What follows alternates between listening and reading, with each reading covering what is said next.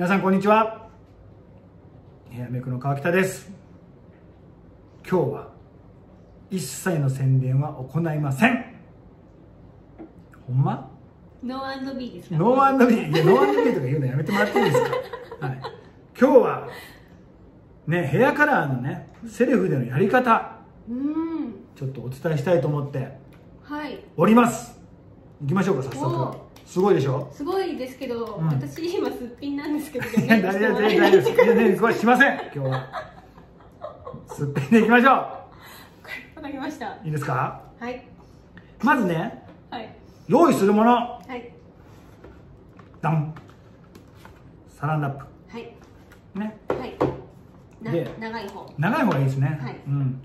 で、はい、こういうカップですね。はいこれは100均とかで売ってると思います、はい、もしくはこういうお皿とかでもいいです、うん、はい。ない方は紙皿でもいいです、うんうん、はい、でできたらこういうハケ、はい。えー、これも100均で売ってると思います。これちょっと毛がついてるやつね、はい、これナイロンでもいいんですけども。ダイソーとかそういうとこダイソーと100均で一緒？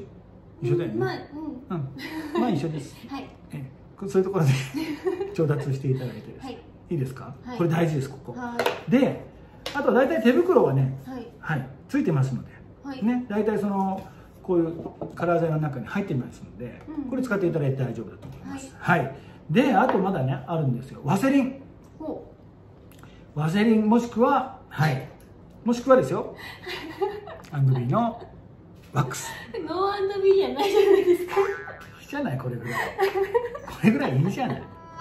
はい、はい、これを何に使うかというと顔周りにこうやって塗ってください。このヘムラインと言われる場所ですね。こういうとこ耳とかね、はい、はい、あとはこの襟足のあたりもちゃんとこう顔周りヘムライン全部塗ってください、はい、ね、カラー剤がねたくさんついちゃうと染まっちゃったりします、あ皮膚が。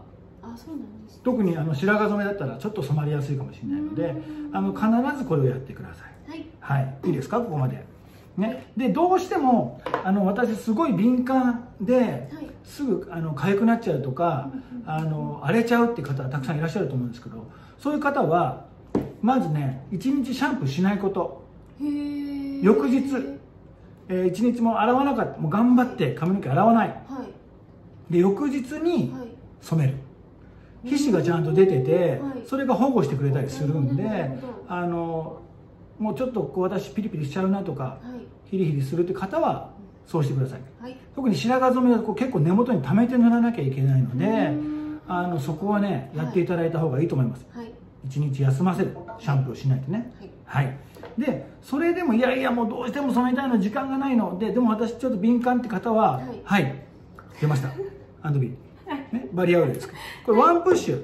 軽くでいいです、軽くこう指先につけてこう頭皮にこうさーっと塗っといてください。軽くでいいです。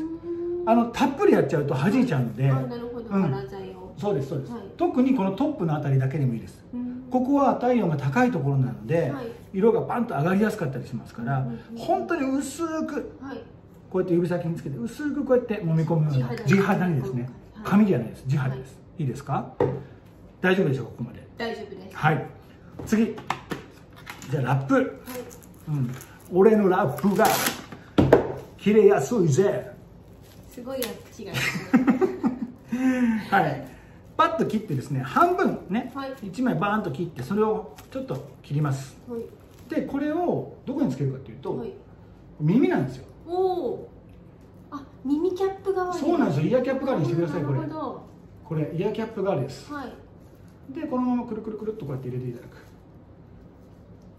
こういう状態です。ちょっと見せてあげてもう中に入れるだけでそうです中に耳の間にグッと最後入れちゃえば、えー、簡単。簡単ですよね。はい簡単です、はい、これを両耳にやっていただく、はい、これちょっと自信自分でやってみて、はい、はい、やってみよう。そうです。かぶせて。くるくるくるです。簡単よ。耳の穴とかキュッと入れちゃえば。下手くそだけど簡単です。できたでしょ？はいできました。そうです。まあ表面をちょっと守るって感じですね。はい。できました簡単でしたね、はい、でラップ、はい、これはこのままこうです、ね、クロス代わり。クロス代わりです、はい、であなるほど、はい、これね本当はえー、っとねジップがついてるパーカーとか、うんうん、このジップパンと開けたらすぐお風呂入れるような状況が本当はいいんですけどもはい、でその上からもラップしてください、はい。はい、こ大事です。もうよ大事なお洋服がね、はい。はい、汚れちゃったりとかしますはい、嫌でしょ？染まっちゃったら。嫌です。絶対嫌です、はい、でこうやって。おきます、はい、やればもう大丈夫、はい、であとあとはもう簡単ですよねこんなね、はい、簡単にできます。でチラシとか何でもいいです、はい、を下に引いといてください。落ちちゃうと床が染まっちゃいます、恐ろしや、ね、恐ろしやですよね、はい、あれなんだろうと思って取れないですからね。染まっちゃうと。だからこういうチラシ何でもいいですから新聞紙でもいいので、はい、それを下に引いておいていただくと。はい、はい、ここまで大丈夫ですか？大丈夫です。いけますよね、はい、そしたら次ねすぐ行きたいんですけども、すぐ染めに行きたいんですけども、ちょっとお待ちください、まずブロッキングをしましょう。4つ。4つに分けていきます。その時にこういうね、えー、ハケがあるとこれね、コーム代わりになってきてほら分けやすいんですこうやって。ピョッとね。1大体でいいですから。234つ。こういうことですね。はい。はい。そしたらこれを4つに分けます、はい、ね、まず1つ目は取りますね。1ここ焦んないでくださいよ。ここで焦ってもう早く染めたいのじゃなくて、はい、1回ねしっかりとブロッキングします、はい。ゴムでいいです、うん、何のゴムでもいいです。おしゃれゴムじゃなくていいですから。輪ゴムでもいい輪ゴムでいいです全然。1ね。したらちょっと藤井さんちょっと後ろにって。いて、はい、いきますよ。これゴムの型短いんですけどもなんとなくでいいですから全部きちっと分ける必要ないですけど。はい。2もうすぐ取れるような状況にして大丈夫です。なんかきつく止めちゃダメですよすごいわざと甘く止めてますからねこのこれきつく止めちゃうともうね大変。やりにく くてしょうがないですからもう本当にもうさっと取れるような引っ張ったらすぐ取れるようなぐらいで。すではい。3ね。これわざとやってますからね。緩くしてない。乾きたゴムが止められないとかそんなわけじゃないですから。で最後のところですね。これ4はい。OK 後ろ見てはい見てください。大丈夫ですよ。後ろ大丈夫です。前見ていただいて。もう本当。ちょっと絵的にね。絵的にあれなんでこれちょっとちゃんと思いましょうか。ちょっと思わずまあまあこっちもこっちですけどいやいや可愛いよこっちは。ん？こっちはすごい可愛いんだよ。なんでなんだ？あのーうん。私白髪ないんですよ。一応いいじゃない。川北さん、うん、川北さん自分で染めた方がいいんじゃないですか？これはおしゃれでやってんですよ。誰が粉雪だよ。おしゃれだよこれは。おしゃれです。はい。ねここまでやりました。これで用意完璧です。はい。いいですか？そしたら今度はカラー剤こういうのありますよね。を全部この中に入れちゃってください。全部中に入れちゃいます、はい、ぐーできたら。もうその方がいいです。その方が早いんで、はい、もう簡単なんでちょっと面倒くさいんですけどこういう辛剤こういうのがあれば一、うんうん、回このお皿の中に全部入れちゃう。一剤二剤を混ぜるタイプな感じだったら、はい、こうです。もう一緒に入れちゃう、はい、入れちゃいましたね。でこれをハケで混ぜちゃう、はい、かりと混ぜましょう。でこれもう色がちゃんときっちりね一色になるようにこれ大体2つ2色黄色と今白なんですけどこれをしっかりと混ぜきっちゃってください。ここはねもう何回混ぜてもいいです、うん、もうぐるぐるぐるぐるしっかりと。はい、はい、ね。ここまでできたら、はい、手袋します、はい、いいですか？そしたらね手袋をして、はい、染めていきましょう。はい、はい、今日実際ちょっと本当にね染めたいかったんですけど藤井さん白髪がないもんですから。ね。ちょっと今日はトリートメントの中に入れてこれカラー剤として。はい。分かりやすくやっていきますね、はい、まず白髪染めの場合ははい、えー、染まりにくいところから染めていきます。そうなんですよ。できたら、はい、このもみあげのあたり。そういうところが染まりにくい、ははこうやってこう横にこうやって。ちょっと近づきます。そうですね。いいですか？ハケはこの横からこう乗せる感じですね。こういかないです。こう乗せていく溜めて塗っていく感じです。白髪染めの場合は。ね。でこういうとこ染まりにくいんでまずここからいきます。はい、はい、これヘムラインですね。で顔周りをさーっと塗っていく。で溜めていきますこうやって。わーっとこう溜めていきます。でもしできるんだったらこのまま横、はい、こっち側ですねの横もバッと染めましょう。分け目の部分そうですそうです。はい、そうですね。そしたら今度は反対いきます。はい、はい、反対。はい。またお土産のところからバッと染めていきます。ちょっと向きを変えよっちゃうはい、はい、こういう感じです。はい。ねで一緒ですね。トップの方から塗っていきます、はい、はけの動かし方はこうですね。溜めて塗っていくぞっていう、はい、こうじゃないですね。はい。溜めて塗っていきます。で横ですね。はい、いいですか？そしたら今度は後ろ、はい、なかなか後ろ頑張らなきゃいけないんですけど。自分でどうやってやった自分でやるときはですね、はい、はい、ちょっとやってみましょう。自分でまずネープからいきたいんですよ。ネープ。はいネープ。中ですね。ここの辺りです。この辺りです。はい、このヘムラインこういうところ塗っていきます。ちょっと自分でもやってもらおうかな。はい。ちょっとやってみて。はい、はい、すみません。先生すみません。先生すみません。これを。そうですそうですそうです。そうですそうですそうです。はい。もうね。こんな感じ？そうですそうですそうです。見えてないです。はい。いいんですよ。こういう感じで塗っていきましょうと。はい。インこうね。バッと塗っていきますよと。いうことです。これねもうなんだったらもう結構背中の運動にもなりますから。肩の運動にもなりますから。あのいいと思いますよ。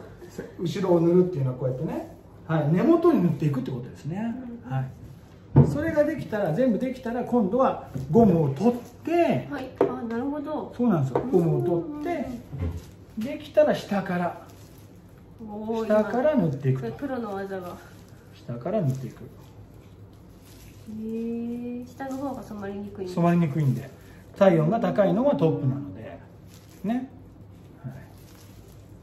だから運動とかした後にいきなり染めちゃうと、はい、ちょっと上がりやすいかもしれないですね、はい、こういうことですね。すごい簡単になったでしょ？すごい簡単そうに見えました。けどちょっとやってみてこっち側自分では。